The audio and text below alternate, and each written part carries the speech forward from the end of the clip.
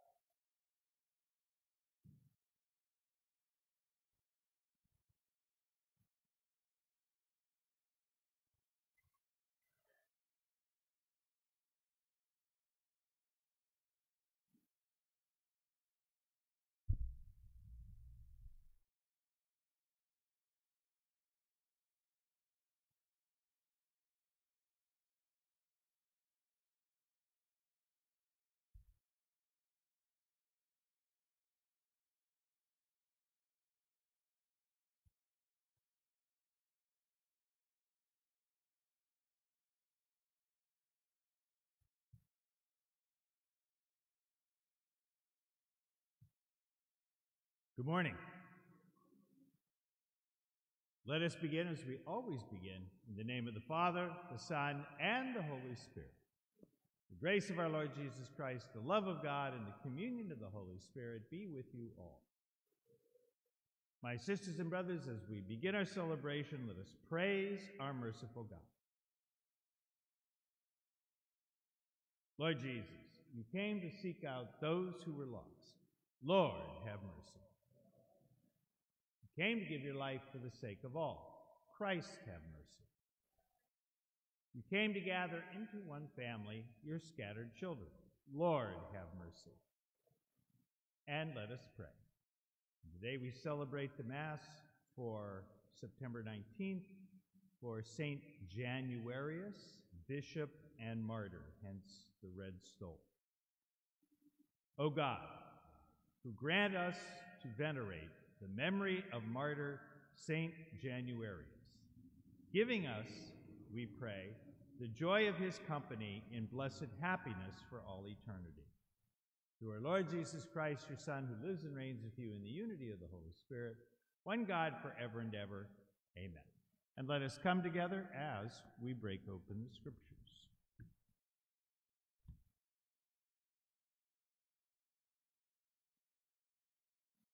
And for those of you who were wondering, yes, the month of January comes from St. Januarius.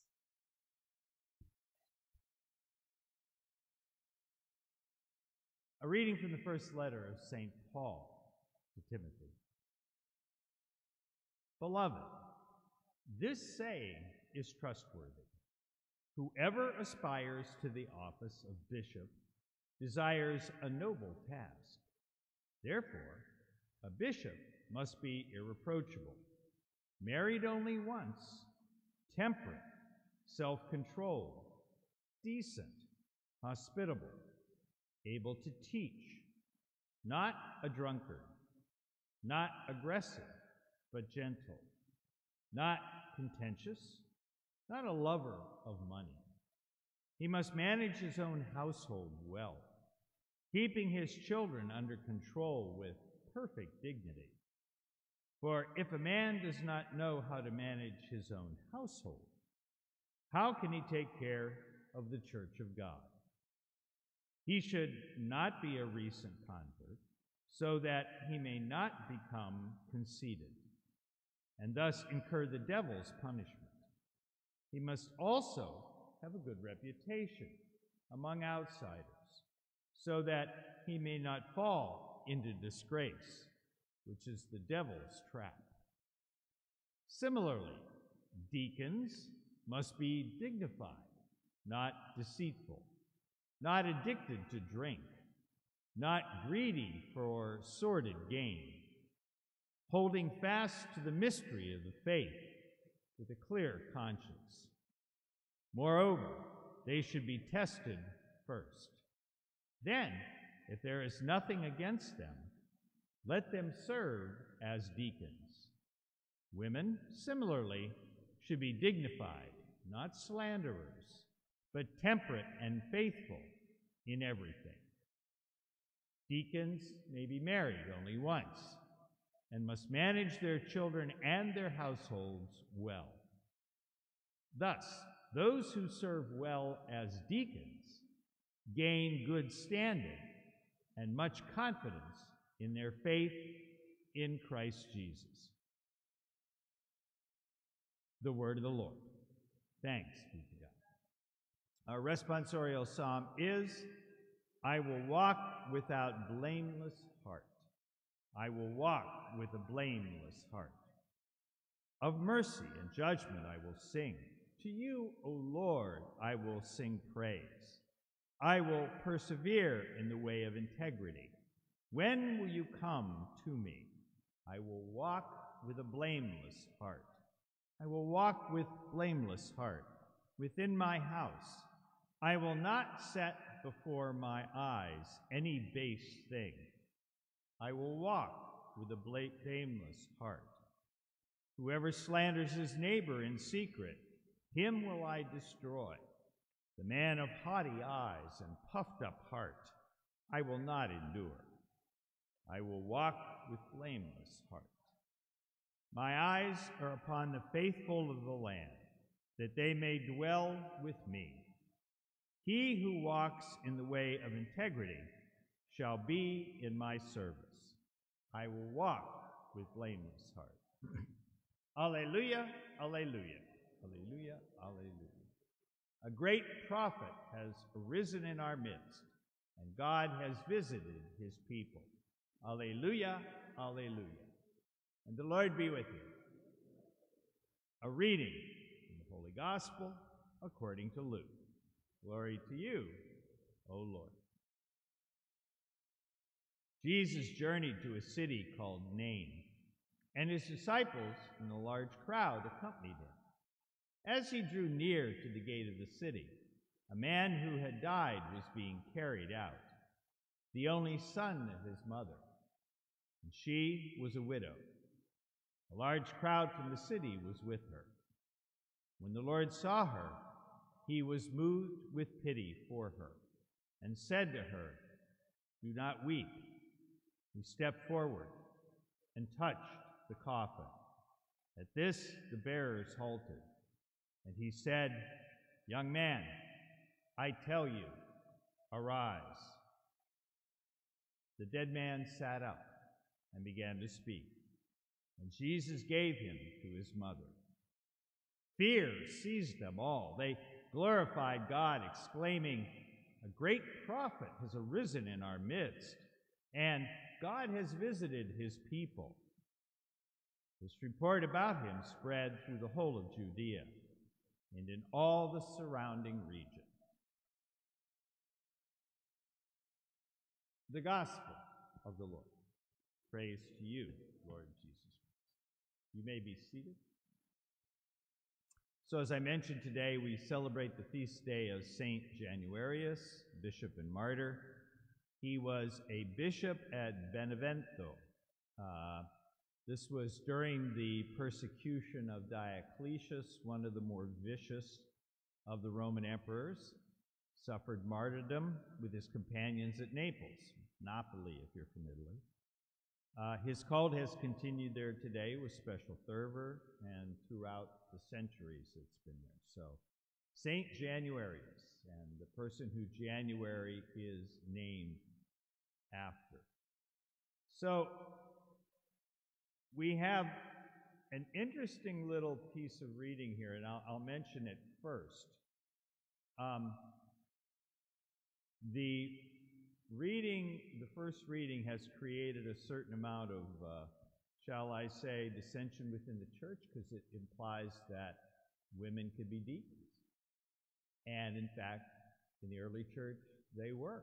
And there's been a lot of discussion since that time um, as far as women being allowed into the diaconate. And so one of the scripture readings that's often brought up is this one, uh, where it's mentioned that women were deacons. And in fact, in the early church, they were.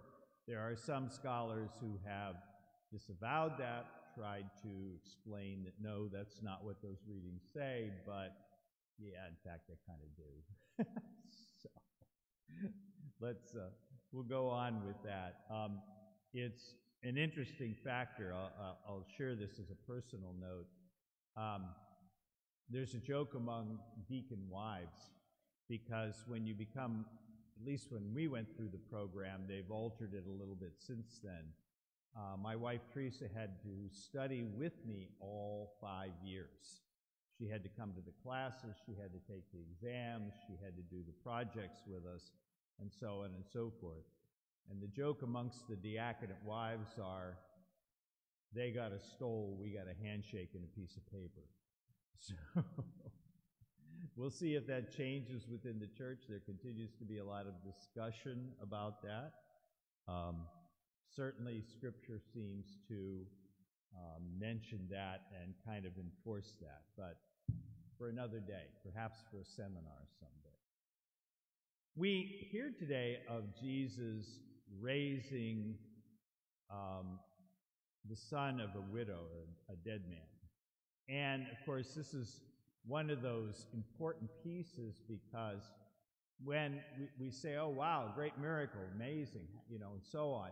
And again, this is another one of those things where people have tried to explain over the years using things like comas and so on to explain it. Well, no, probably they weren't really dead. There was, well, yeah, they, they were.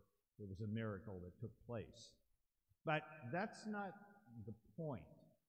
The real, and, and when we get into this whole resurrection thing and get into arguments and discussions and all of that about resurrection,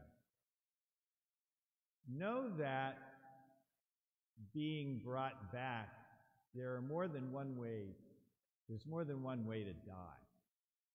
We can die physically. We can die here. We can die here. Our faith can die within us. And so we're all called at various times, my brothers and sisters, to consider resurrection, to consider where do where does our faith need to be lifted up? Where do others need to be lifted up? We have a funeral today in a little while. 97 year old woman. God bless her. Mrs. Hayward. Longtime parishioner, families of parishioners, so on and so forth. But her son no longer practices. So who needs the resurrection? She need the resurrection? Or, or does the son's faith need resurrection? Well, in a way, the answer is both. we all need resurrection, you know. We all don't, we don't know what's at the end of the road. The interesting thing is, is the end of the road is not death. The end of the road is somewhere beyond that. And we don't know what that ending will be. But in many people's cases, they need to be brought back from the dead. They need to be brought back from the dead of poverty. They need to be brought back from the dead of emotional breakdown. They need to be brought back from the, I don't know why I'm here, God, so why don't you just quit hiding it from me? You know, we, we all of us in some way need to find a resurrection. I'm a convert. I was raised in a Presbyterian church. I'm the grandson of a Presbyterian minister. I would not say, Grandpa, that I was resurrected when I converted, but I would say that I certainly came into a new understanding.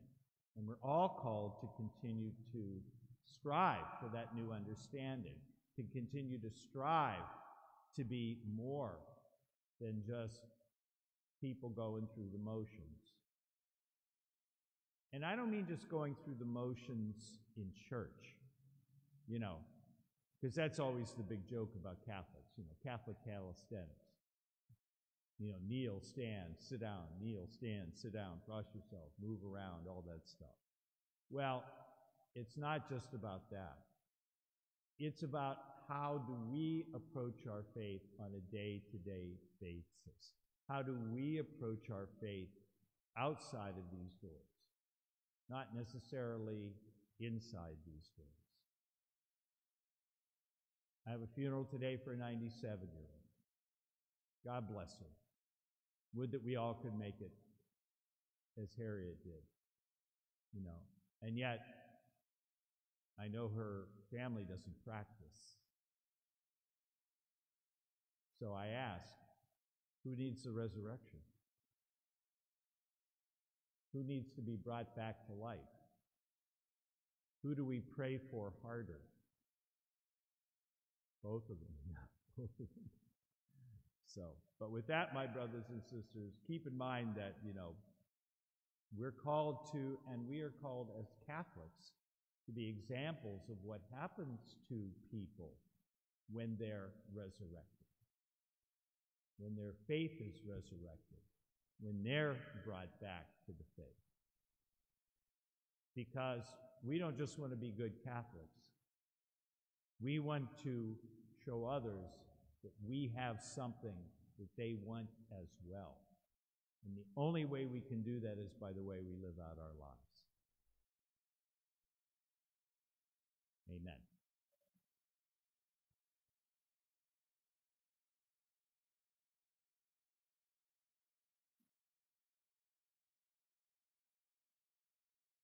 Please stand for the intercessory prayers.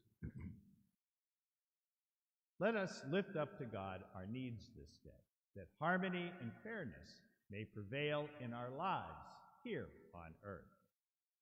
For Pope Francis and for our Archbishop Jose, may our church be led in love and justice for the common good of our people and for the world. We pray to the Lord. Lord, hear our prayer. For the well being of our families and for the healing of all derision and ill will, may we lean on the love of God and the love that God has for us. We pray to the Lord. Lord, hear our prayer. For the needs of God's beloved poor, for our neighbors who live on the streets, and for those who search for daily food and long lasting righteousness, we pray to the Lord. Lord, hear our prayer. For an end to human trafficking, and for the end of abuse, both physical and mental. May we work together for the dignity of our children as we ache to raise this next generation with love and goodness. We pray to the Lord. Lord, hear our prayer. For forgiveness in our regrets and for hope in our grief.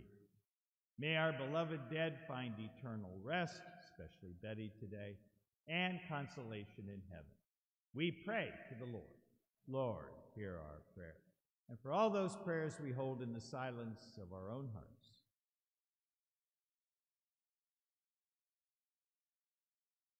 For these prayers and those entered into our prayer and petition book, that they may be received and answered by our God, we pray to the Lord. Lord, hear our prayer. Gracious and merciful God, receive our bruised hearts and the prayers we speak. Open the gates of heaven as we long for forgiveness on earth. We ask this through Christ our Lord. Amen. You may be seated.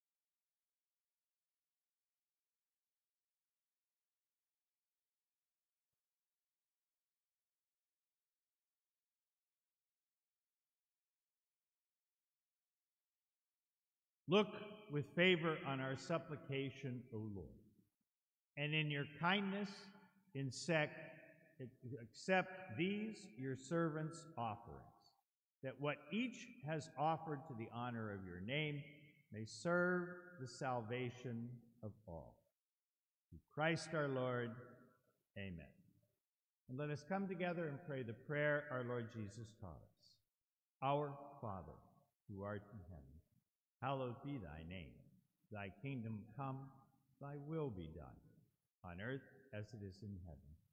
Give us this day our daily bread, and forgive us our trespasses, as we forgive those who trespass against us. And lead us not into temptation, but deliver us from evil. Deliver us from every evil, and grant us peace in our day. For thine is the kingdom, and the power, and the glory, forever and ever. Amen. Amen. The chalice of blessing that we bless is a communion of the blood of Christ, and the bread that we break is a sharing in the body of the Lord.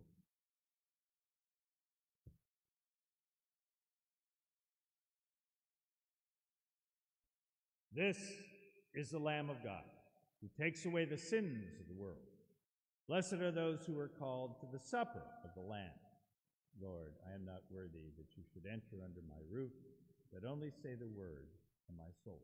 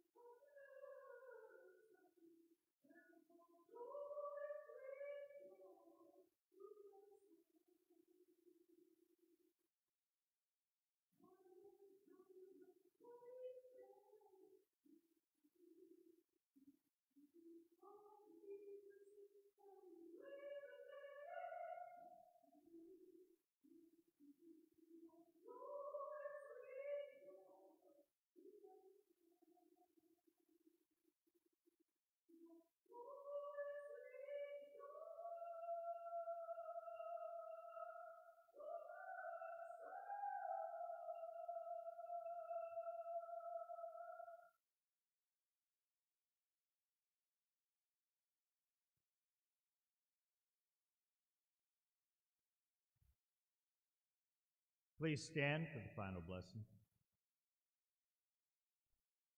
Graciously raise up, O Lord, those you renew with the sacrament, that we may come to possess your redemption, both in mystery and in the manner of our life. Through Christ our Lord, amen. And the Lord be with you. And may Almighty God bless you, the Father, the Son, and the Holy Spirit.